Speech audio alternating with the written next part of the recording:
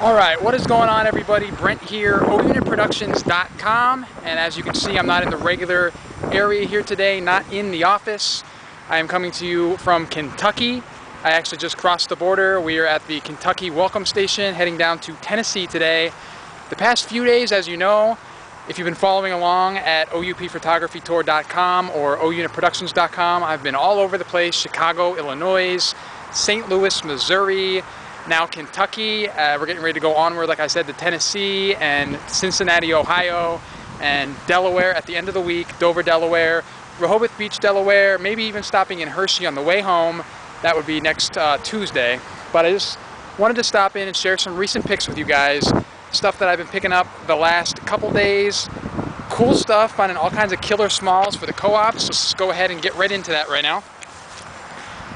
All right, here you can see some of the stuff that I've been picking up so far on this trip. Uh, really, really cool stuff that I think I'm going to make some good money on. Without further ado, let's go ahead and get right into some of these items here.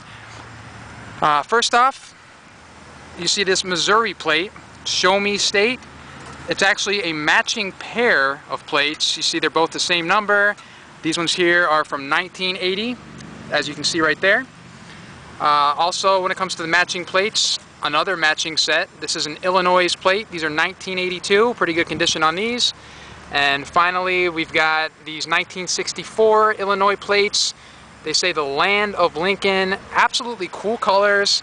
Plates like this, for me, I mean, they're going to be nothing but really fast sellers. Well, again, let me just reiterate the fact that these are uh, matching set as well. But anyway, really cool colors. They're going to be pretty quick sales in my co-op booths. And altogether for all of these, I believe I paid $10.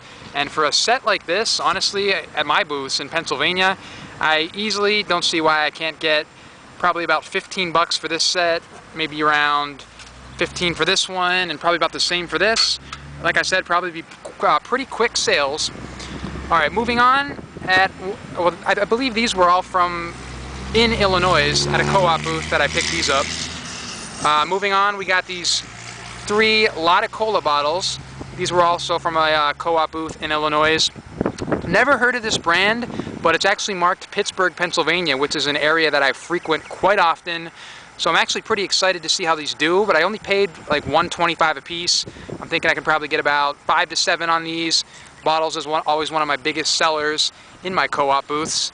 Uh, next up, uh, in my area, central Pennsylvania, I see the, uh, the Penn State bottle all the time, the 7-Up Penn State commemorative bottle. This is commemorating the 1973 National Championship season of Notre Dame.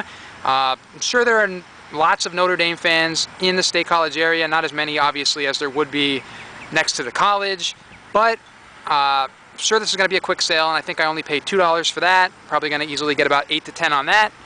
Uh, next up, we got another set of plates here. This is actually the first thing I picked on this trip. Uh, these are 1965 Illinois matching plates. It was $5 for the set, and once again, probably going to end up getting around 15 for these. All of the matching sets, I don't plan on breaking them up. I'm going to just sell them as is. Um, like I said, you don't find matching sets too often in Pennsylvania, so I really, really think I'm going to end up doing good on these. And this right here is just a single plate. I picked this for $2 out of a co-op, 1982 Illinois. I love the fact that it was a farm plate. I just really, really thought it was cool. And probably ask about 8 to 10 on that. Alright, moving on. This I actually just picked today in St. Louis, Missouri. I had a, uh, a really cool lead on this, on Cherokee Street is where it's at in St. Louis. So if you get a, a chance in St. Louis, stop by Cherokee Street. Tons of antique shops, kind of reminded me of Adamstown, Pennsylvania, but on a smaller scale. Lots of just piles of junk, unorganized chaos, but beautiful chaos. Uh, I saw this on the shelf and my mom is actually a huge Playboy fan, so it drew my attention right away.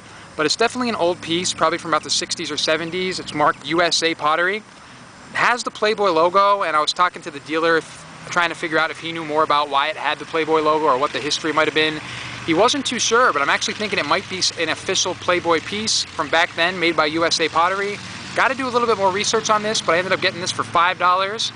Uh, marked 10 on it, but I talked them down to 5 because I got a bundle, which you're about to see the other two things next.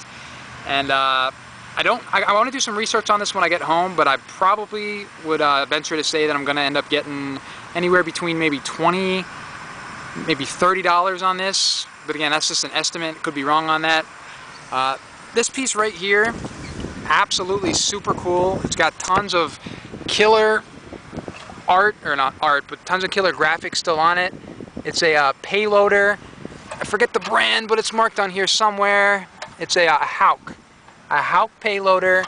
Missing a few pieces, but it's really, really cool. Gonna clean this up a little bit.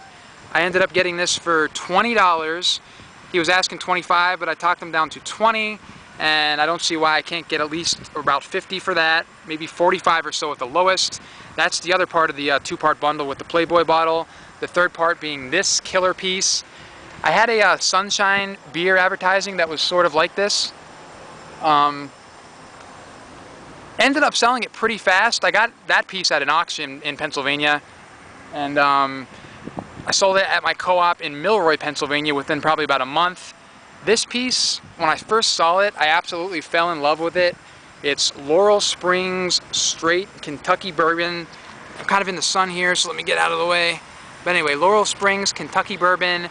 Only $25 was marked on it. I instantly thought I, you know, I could at least double my money on that, but I ended up talking them down to $20. Think I'm probably going to end up getting between 50 and 75 on that. Got to do a little bit of research, but it's definitely probably my, probably my favorite pick of this trip so far, although I have a few more coming up that I'm getting ready to show you that might be close to that. Um, but like I said, really, really cool.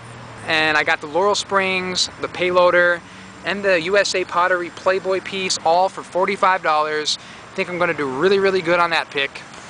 All right, next up, something else I've never got to see before. Really, really unique. Pepsi Cola, it's a little bucket. Not sure if it's an ice bucket or what it might be. Got to do a little bit of research. But the thing that I originally thought was really cool about it, and I actually can't find it right now, there it is. It says, uh, I don't know if you can see that because of the sun and because of the fact that I'm filming outside, but it says colored with caramel.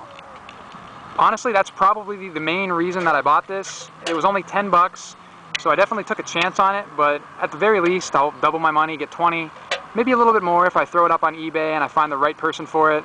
But really, really cool piece. It spoke to me, and if nothing else, it will look awesome in one of my shops.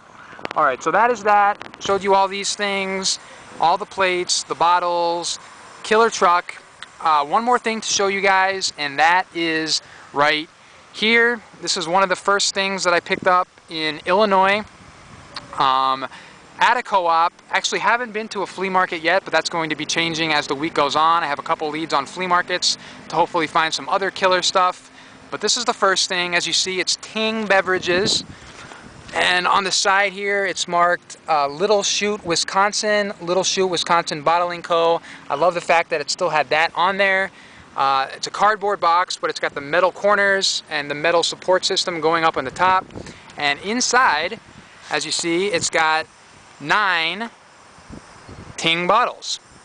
Uh, I'm not going to sell this as a complete set. Well, it's not a complete set because it's missing three bottles, but I'm going to end up breaking this down, selling the box at one of the co-ops, and selling all the bottles split up between my three co-ops. Maybe if I get motivated, I will uh, throw one up on eBay and see how it does. After I do some research, that is. I haven't really researched it yet, but I just haven't seen any of these bottles in Pennsylvania, especially in my co-ops. So I'm pretty positive they're going to be a very quick sale. Um, this box, it was marked $30. Uh, I went up and asked if there was any discounts, and lo and behold, he told me that there was a, uh, told my girlfriend, she's actually the one that asked, and he told her that there was 10% over $20, so I ended up getting 10% off that, so around $26, $27. Killer piece, I'm probably going to ask about 30 for the box, and the bottles on the inside between I would say five and eight dollars a piece so you can go ahead and do the math there so that is that. These are the first set of picks from the 2012 summer OUP, OUP photography tour. Very curious to know what you guys think. What is your favorite item? What do you think will do the best? And how are you guys doing? I am having a blast on the road. All kinds of killer stuff coming up. Getting extremely excited to finish out this tour. Uh, getting extremely excited for some of the flea markets that I'm going to be seeing as the week progresses. Very, very beautiful here so far in Kentucky. Haven't seen much of it, just crossed the border as I said, but it's been between 100 and 110 degrees ever since I've been down pretty much in St. Louis and past St. Louis. Temperature's been rising, as you can imagine, here in the south, but having a blast. Gonna keep on picking, keep on having a good time. Actually stopped at a, a huge Superman statue in Metropolis, Illinois. Um, just came from there actually before we stopped at the Welcome Center.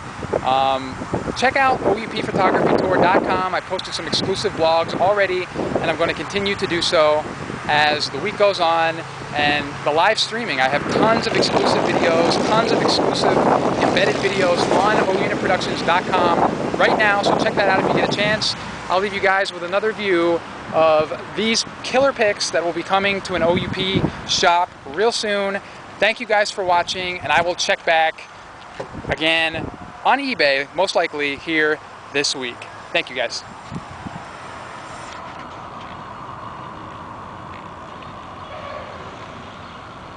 Did I say eBay? I don't know what I said, but I meant to say here on YouTube again this week. Maybe I said YouTube. The sweat beads are pouring down my face. So regardless, I'll see you guys soon. Thanks.